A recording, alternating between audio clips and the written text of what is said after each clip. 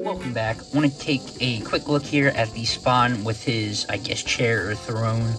Uh, GameStop's check your clearance. Having him 50% off. Uh, mentioned this in the haul video, which I still have to post.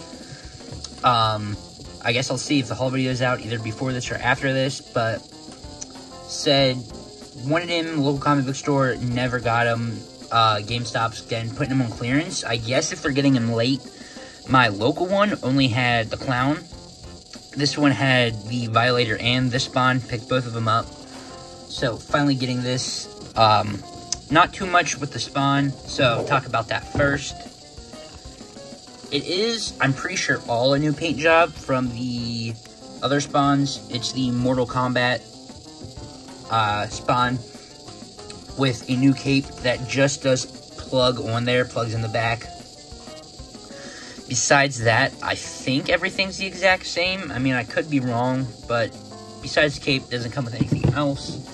But the main draw to that is if you don't have a spawn already, the chair, which I honestly really like this chair. Um, the paint, I mean, I guess it's not the best, but I'm, he's going to be sitting on it. And I mean, you see some of the skulls and stuff. I mean, he could paint this and charge a lot more for it. It's got this, the, the cape here, I think it's just pegged in or glued in. Yeah, it's pegged in there.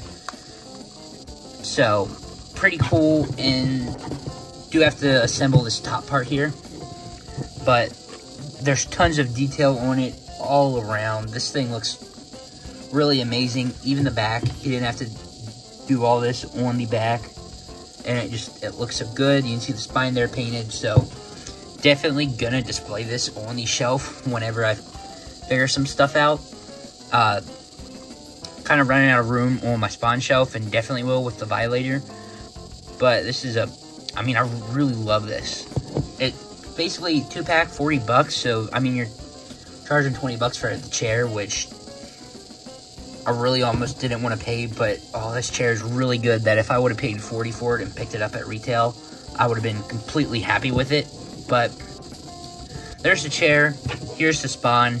Basically, the only difference, I think, is the paint job. It's more of a darker, I'm not sure if it's necessarily black, can't tell from my lighting.